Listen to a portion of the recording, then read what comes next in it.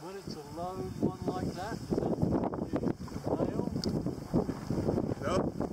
When you sit one on its own like that, yeah. is that definitely a male? Yeah.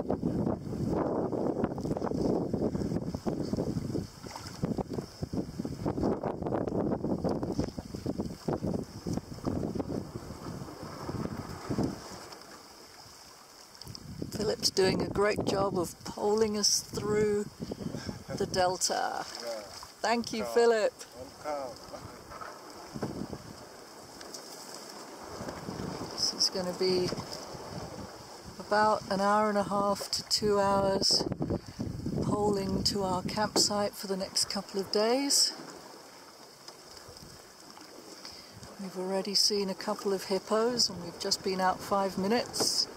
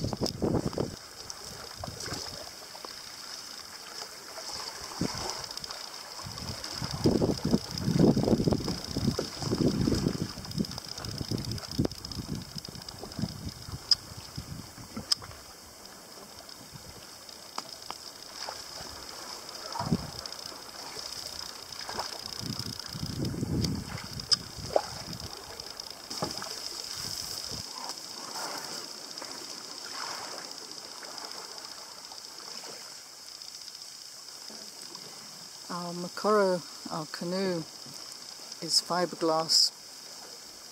This is the modern replacement. It used to be the old dugouts from the trunk of the sausage tree, but now the polers are using fiberglass, and many of us travellers are helping to fund the purchase of fiberglass canoes to save the sausage trees.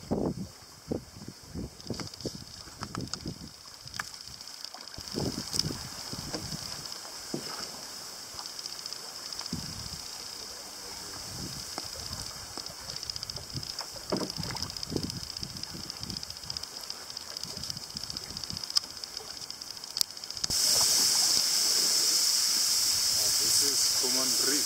Uh huh. Common reed. Yeah.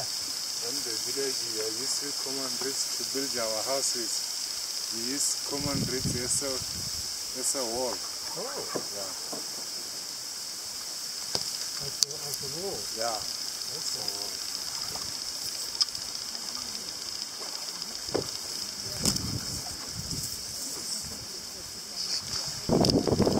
So we've just arrived at our camp, going to be offloading, and we've just seen not too far away at least two elephants. I saw a, bigger one and a youngster very close to camp. So we'll see how this goes. Here we are, just landing our Makoros. I'm currently standing a little unsteadily in mine. There's Chris in front of me. And there's Philip, our trusty poler.